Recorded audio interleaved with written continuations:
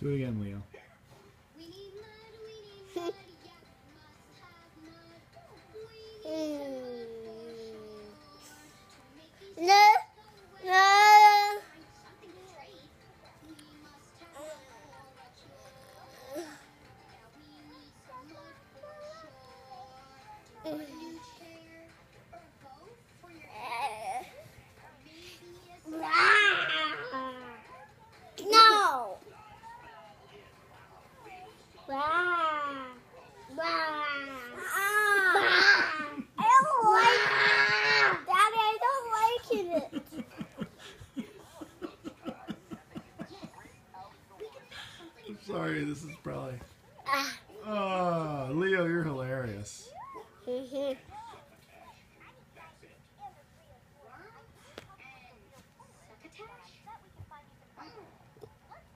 thumb.